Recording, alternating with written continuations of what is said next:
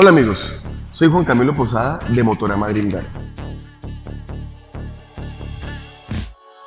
Quiero contarles qué hacemos en Motorama y precisamente parte del trabajo que hacemos acá se llama detailing.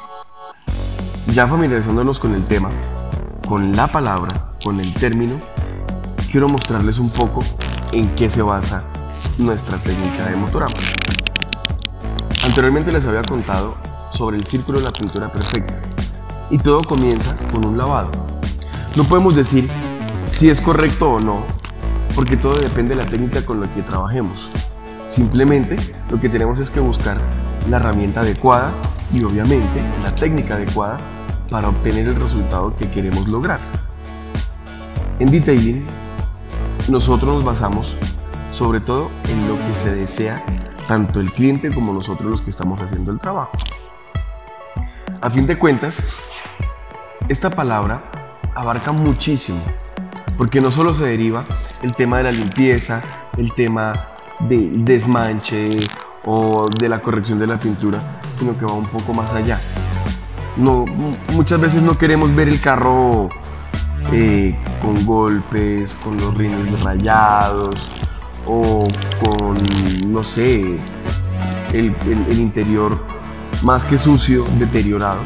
Entonces, nosotros, los detailers o detalladores, buscamos la manera de encontrar ese equilibrio y llegar a ese punto de gestión para que el carro y el vehículo que tenemos enfrente se vea tal como deseamos. Entonces, quiero que vean un poco lo que trabajamos acá.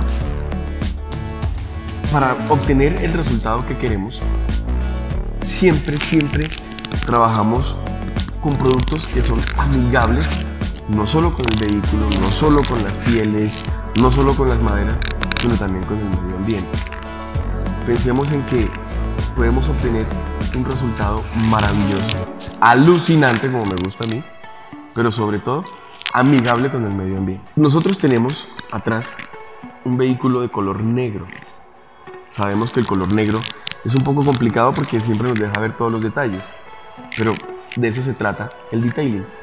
Que esos detalles de rayones, manchas, el maltrato que ha tenido normalmente vaya desapareciendo. Quiero contarles un poco qué fue el proceso que hicimos acá. En este carro trabajamos la primera fase que fue la limpieza. Los lavados que hacemos acá los hacemos sin agua.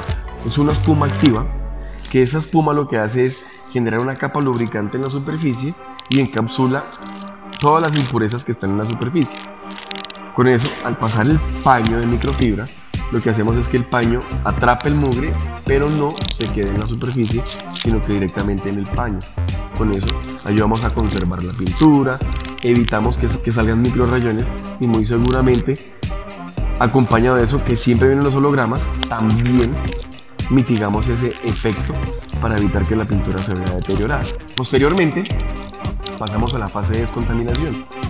En la fase de descontaminación encontramos que removemos impurezas y con el simple lavado no salen. Esas impurezas se depositan en la superficie, hacen que la pintura se sienta rugosa, que se sientan eh, partículas en la superficie que no se remueven fácilmente.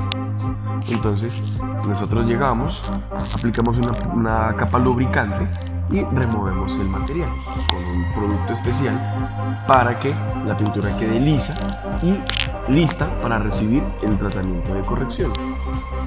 ¿Por qué se debe hacer la corrección? ¿O para qué?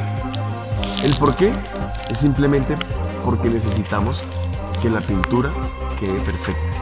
¿Para qué? Para que los rayones, los microrayones desaparezcan, pero también para que el producto que vamos a aplicar seguido de la cera de corrección se adhiera mejor a la superficie, obtengamos un mejor reflejo, un mejor brillo y por último un mejor acabado. Después de hacer todo esto, llegamos a la fase de protección. ¿Qué pasa con la protección? ¿Para qué sirve? En detailing la protección es importante porque hace que primero se conserve el estado del carro durante mucho tiempo. Algunos garantizan seis meses, otros un año, otros tres, cinco años e inclusive ya vamos a 10 años y hasta más. Solo que, pues obviamente, dependiendo del nivel de protección que queramos, pues también va a ser el costo que va a adquirir ese proceso.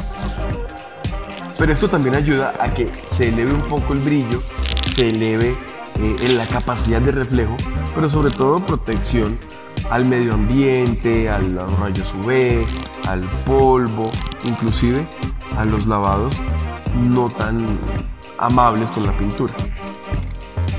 ¿Esto qué provoca? Hace que mantenga valor el carro después de terminado el trabajo. Si hablamos de carros clásicos, obviamente, en algunos lugares del mundo, en concursos de elegancia o concursos de exhibición, muchas veces el acabado del carro, la presentación del vehículo, genera un porcentaje altísimo en la calificación final. Estamos hablando que puede llegar a, evaluarse hasta en un 20% sobre la calificación final, el estado y la presentación del vehículo. Entonces hay que tener en cuenta siempre todos y cada uno de esos detalles y ser muy meticuloso, tener paciencia para entrar en cada una de las líneas, los pliegues y obviamente tener un muy buen ojo para poder darse cuenta y ser autocríticos en estos procesos. Quiero que no se despeguen de acá.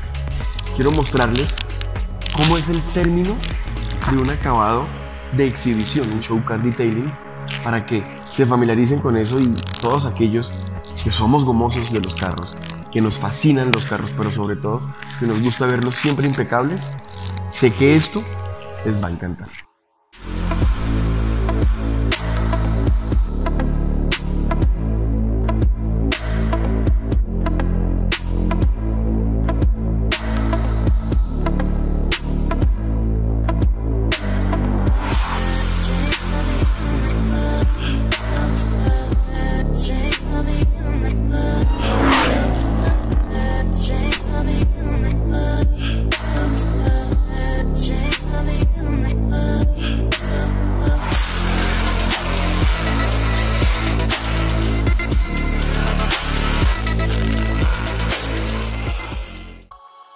Y bien, esto es todo por hoy, pero sigan conectados, porque aquí en Motorama recuerden que no solo somos profesionales, sino que todo lo que hacemos lo hacemos con amor. Los esperamos.